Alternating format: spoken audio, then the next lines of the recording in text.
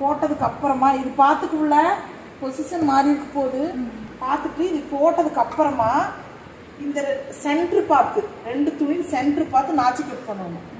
Notch cut scissor தான் கூட பண்ணிட்டு போயிரு நார்மலாக கட் பண்ணி வச்சிருக்கணும். லைனிங் நார்மலாக இருக்கணும். இந்த பஃப் மாதிரியே இருக்கக்கூடாது. லைனிங் நார்மலாக இருக்கணும். இது மட்டும்தான் நம்ம பண்ணுறதெல்லாம் பண்ணுறோம் இந்த பீஸ் இப்படி எடுக்கிறோம்.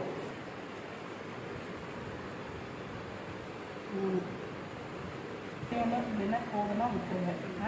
இது ஜாஸ்தியா இருக்கு இதுலயே ரெண்டு வச்சுருக்காங்க ஆ.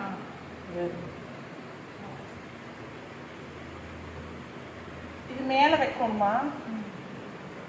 எல்லாம் ஒட்டி வரணும். ஓகேவா? வந்துருச்சா? இது தைச்சு இது ஒரே ஒரு தையலை தைச்சதுக்கு அப்புறம் நீங்க இது இப்படி விட்டுறணும். எதுமா இன்னும் வைக்கணும்? வச்சுக்கலாம். சும்மா வச்சுதானே கட்டுறேன். நாலு வந்துருச்சுங்களா? ஒரே ஒரு ஸ்டிச்சு திருப்பி திருப்பிட்டு இங்க ஒரு பட்டன் ஏதாவது வச்சுக்கோங்க. இல்லைன்னா கீழே இன்னும் கொஞ்சம் இருக்குன்னா இது கீழே ஒரு பார்டர் கொடுத்துடலாம்.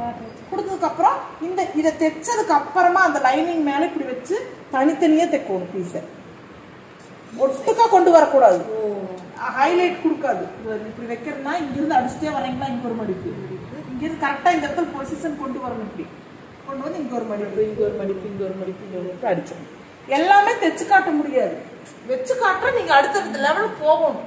எல்லாம் நானே பண்ணி கொடுத்துருந்தா உங்களோட வேலையெல்லாம் வேஸ்டா போயிடும். அதனால இப்போ இது வந்து இதுல ஜாயின் ஆமாமா இது சைடுல இருக்கணும்.